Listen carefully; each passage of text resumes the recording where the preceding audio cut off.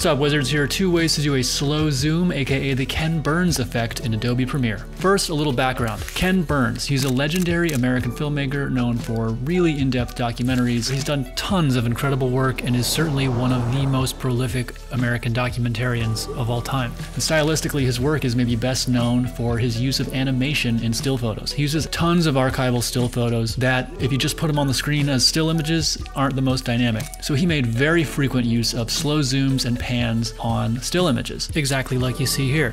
He actually used it so much across all of his films that the effect came to be known as the Ken Burns effect. All right, so now you at least know why it's called that. Here's how you do it in Premiere. Drop a photo into the timeline. Tweak the scale and position so the photo looks the way you want it to look at the start of our animation. And make sure the playhead is at the very first frame of the clip in the timeline. Then, in the Effect Controls panel, click the little stopwatch icon next to both the position and scale properties. This creates what is called a keyframe. Keyframes are special frames used in animation and they indicate exactly when and how an image can change over time. So the keyframe we just set tells Premiere how we want our animation to start. Then we will jump to the end of our clip and then back one frame. So this is like the last frame of our clip and we will enter another keyframe. When we have the little stopwatch icon selected, any changes we make to scale or position automatically creates a new keyframe at the current playhead position. And you can see it right there. It's those little gray diamonds underneath the playhead in the effect controls panel. So we've increased the scale a little bit, we've tweaked the position. This keyframe here tells Premiere, hey, this is how we want our image to look at the end of the animation. So now let's take a look at what we've got. So there you have it, a simple slow zoom in, the Ken Burns effect. This is how most editors are always going to be creating a Ken Burns look, keyframing the first frame and the last frame, and Premiere will animate all the in-between for you. Now the other way to do a Ken Burns effect is slightly more magical, if you will. Uh, this involves using a motion graphics template that I made. Uh, I call it the smooth motion template, but aka the Ken Burns template. So you can drop it right into your timeline. Then you can drag a photo from your project panel and just drag it into this little box like so, and that's actually it. There's no keyframing involved. So right off the bat, you've got your slow zoom effect.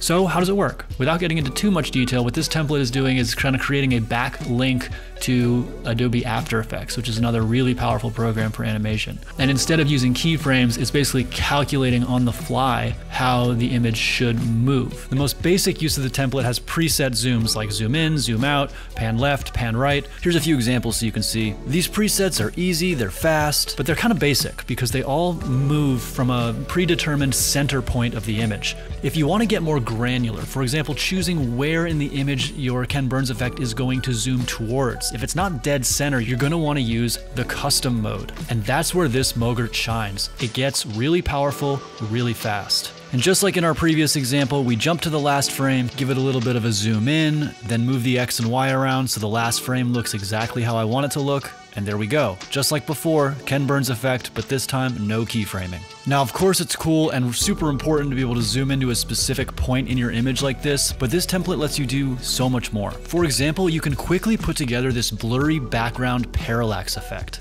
It would take you a lot of clicks and a lot of tinkering around in Premiere to do this manually, but with this MOGRT, you can easily change the blurriness of the background, the speed that the background moves, the brightness of the background, and the drop shadow of your foreground image, all with easy slider controls. No keyframing anywhere. Now that said, if you're trying to become a professional editor, it is really important that you learn keyframing. But if editing is really just a means to an end for you, then yeah, a tool like this might be really useful. Or if you're an editor who already knows keyframes and is tired of fussing with them, like me, uh, then this template might also be really useful for you. The link for the MOGRT is down below in the description. Also, if you just want to see like a more detailed walkthrough of this template, uh, just click the link that's popping up on screen right now. If you have any questions, feel free to drop a comment and I will get back to you there. Otherwise, I will see you on the next video.